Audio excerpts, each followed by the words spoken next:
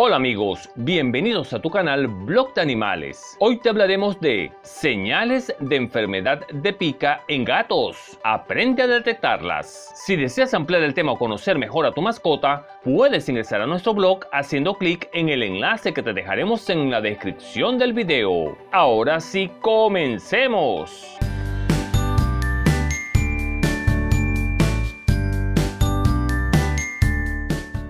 La enfermedad de pica es el término utilizado para describir el deseo de alimentarse de materiales no comestibles. En los gatos, estos materiales son a menudo telas, lana, elásticos, como los soportes para el pelo, cartón, papel y plástico. Los gatos de corta edad son más proclives a experimentar el síndrome de pica. Por ello, si observas algún comportamiento similar, debes consultar al veterinario por sugerencias para detener este comportamiento. Si bien muchos gatos pequeños mordisquean o despedazan objetos durante el juego, un gato con pica molerá el material en repetidas ocasiones. Pero, ¿cuáles son las principales causas de pica en los gatos?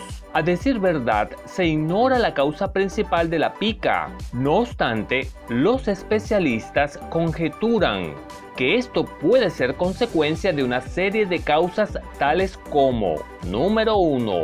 Estrés. Los felinos son animales de costumbre, por lo que cualquier cambio en su rutina los puede exponer a situaciones de estrés. Ante ello hay que buscar las mejores formas de conseguir tranquilizarlos.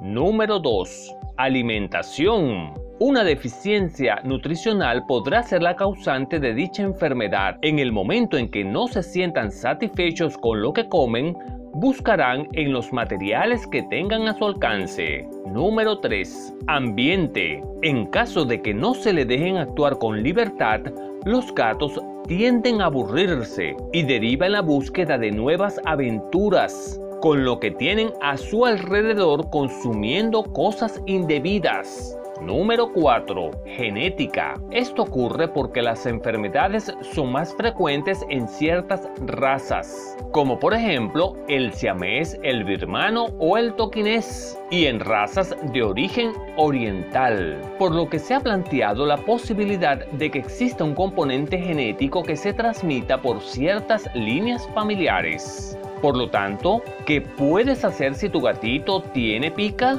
Cuando sepas que tu gato experimenta pica, conviene que estés atento y vigiles los signos de una obstrucción intestinal. Estos gatos necesitan mucha estimulación física y mental para darle cosas que puedan hacer que les permita comportarse de forma biológicamente correcta de acuerdo a su especie. También es recomendable eliminar todos los materiales que consumen. El procedimiento de detener la pica no es fácil, pero puede llevarse a cabo teniendo una supervisión cercana en los gatos que padecen de este síndrome para prevenir enfermedades graves. Además, debes apoyarte con el veterinario.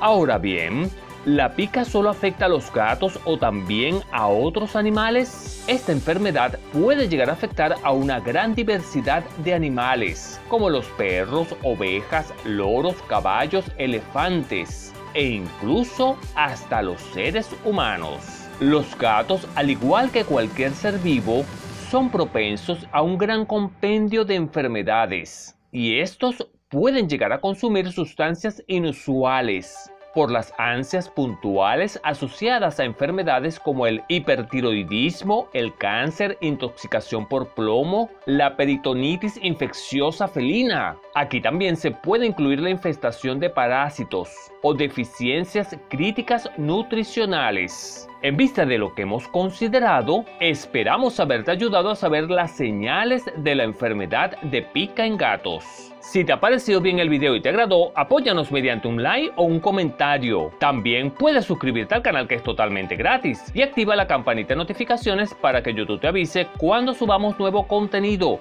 Hasta la próxima amigos.